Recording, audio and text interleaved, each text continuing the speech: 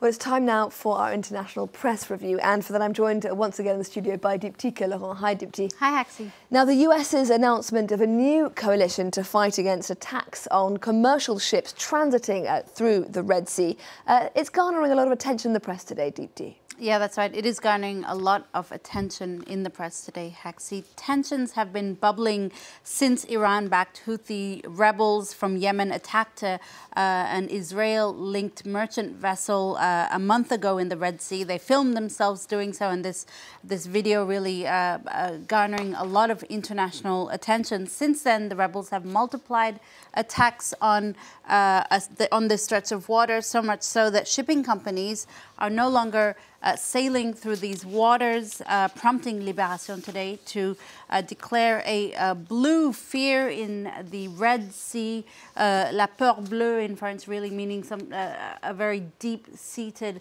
fear or deep-seated anxiety that this uh, crisis has clearly triggered. Because indeed, the, the Houthis said in a statement that they will continue to prevent ships heading to Israel from using uh, uh, from using the Arabian or Red Seas until more food and med medicine is allowed into Gaza um, to help Palestinians there. Focusing on uh, the U.S. Uh, announcement as well. This is Arab News, the Saudi Arabian paper, which focuses on the, the U.S.'s announcement that it will form a 10-country coalition, including um, a, a, a coalition including Britain, France, Bahrain, and Italy, for instance, who will really be uh, patrolling the waters uh, to protect these uh, protect shipping uh, co companies and containers from these type of attacks.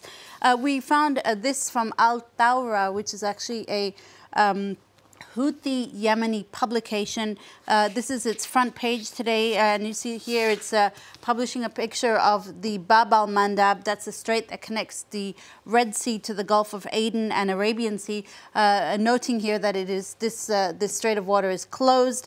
Uh, it also reacts to that announcement of the U.S. coalition in this uh, front page in this in this newspaper today it says that all nations participating uh, in this coalition are thus uh, directly responsible for the, quote, genocide that Gaza is being subjected to.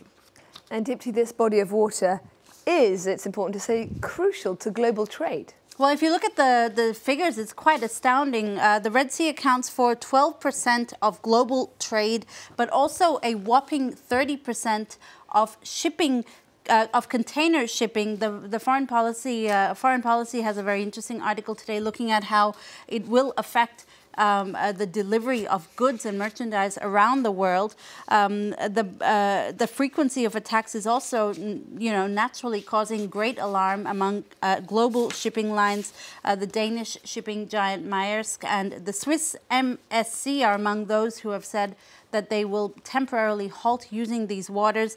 This is a really interesting article from Foreign Policy, despite, despite a rather flippant headline, because of course it's not just about Christmas gifts, but it is interesting because uh, uh, it, it, it, gives us some uh, key details. Firstly, uh, the, the magazine explains that this is a very different case. This is not a case of shipping being disrupted because of a war, uh, like, for instance, a war in Ukraine, but rather being targeted because of a war. Um, Secondly, the attacks mean that war insurance for shipping will naturally go up, which means that this will be then uh, passed on to consumers, so consumer prices of goods will go up.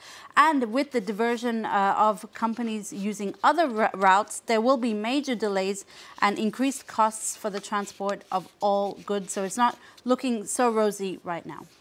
And Dipti, moving on to uh, another story that's making some waves uh, in the press uh, today. Uh, lots of reaction to the Vatican's decision to allow priests to offer blessings to same-sex couples. Yeah, it does come with some conditions, but essentially the Vatican has announced that it will allow priests to uh, to give blessings to couples who aren't allowed to marry in the Catholic Church, such as divorcees and same sex couples. Uh, it's gaining a lot of attention in the French press, notably uh, La Croix, the French Christian paper today, which uh, uh, which talks about this uh, this blessing for new uh, new partnerships or new couples. It hails the decision as a major evolution, but one that is also carefully regulated. The paper says the Vatican uh, has said that this decision does not mean that it will recognize gay marriage. It still maintains that marriage is a union between a man and a woman, but some have hailed it as uh, the right step forward uh, in terms of addressing the issue of discrimination in the Catholic Church. Not everyone agrees with it. This is from The Guardian, the British Daily, which remains quite uh, skeptical. It says that Pope Francis allowing blessings for gay couples is significant, yes, but it is not seismic. Uh, nonetheless, uh, The Guardian does remind us that uh, it comes a month after the Vatican also agreed to um, allow uh, transgender people to be baptized in the Catholic Church and even serve as godparents, once again, under certain conditions. Well, here in France, uh, Dipti found a story uh, that's causing a lot of controversy, and then controversy because of the controversy in a lot of circles as well. A debate erupting over uh, the hairstyle of the newly crowned Miss France. Yeah, we can say that all these layers of controversies are pretty ridiculous, uh, or at least ludicrous at, be at best, uh, Haxi. This story was picked up widely in the international press this Tuesday. Uh, Ève Gilles was crowned Miss France uh, on uh, on the weekend in in a beauty pageant that, uh, despite seeming antiquated as it is, is still extremely popular here in France. It's uh, it still garners a, a, quite a sizable TV audience. Uh, she's become the first candidate with short hair to win. Uh, she hailed her victory uh, as a win for diversity. I, I, assume she means cap capillary diversity. Uh, critics, though, did accuse pageant organizers of wokeism, um, or at least pandering to wokeism, by appointing her the winner. They say that her short hair and her androgynous look is uh, a little too woke, even though the vote is shared between the public and the jury. In addition uh, to the hair, she's also been criticized for her uh, androgynous look. Thankfully, though, many have leapt to her defense uh, and really uh, shut down the criticism, including uh, pageant organizers and even some French politicians. Well, I should say it's not a hugely androgynous look she's sporting in that picture there, by any account.